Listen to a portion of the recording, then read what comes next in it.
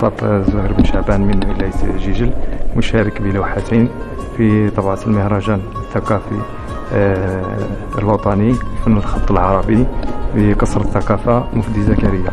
آه، مشارك بلوحتين اللوحة الأولى آه، تتناول حديث نبوي شريف بخط الرقعة مؤطرة بفن يسمى فن الإبرو أي فن الرسم على الماء.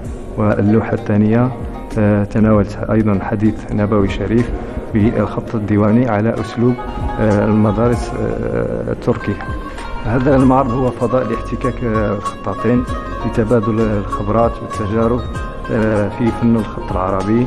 هي فرصة تسمح للخطاطين باكتشاف أكثر المواهب وأيضا اكتشاف أعمال جديدة وخامات جديدة في ميدان الفن. أيضا سمح لنا المعرض بحضور ورشات وأيضا محاضرات في هذا الفن. أيضا المعرض يتناول أيضا عدة لوحات قيمة في مجال الإبرو ومجال الزخرف أيضا. حدث ثقافي تعرض فيه أحسن اللوحات وتنظم فيه مسابقات للشباب وللمهتمين بفن الخط العربي.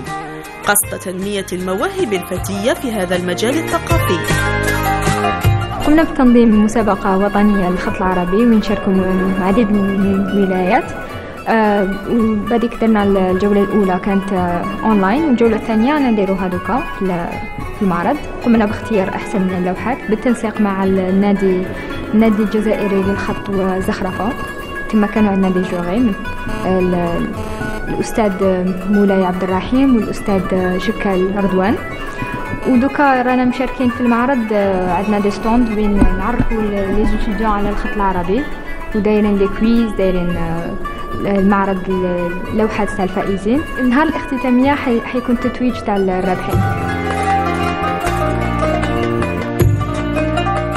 معرض الخط العربي يعد أكبر حدث ثقافي وطني يروج لعراقة هذا الفن وأصالته ويجمع مختلف المواهب الفنية في الخط العربي في فضاء ثقافي واحد.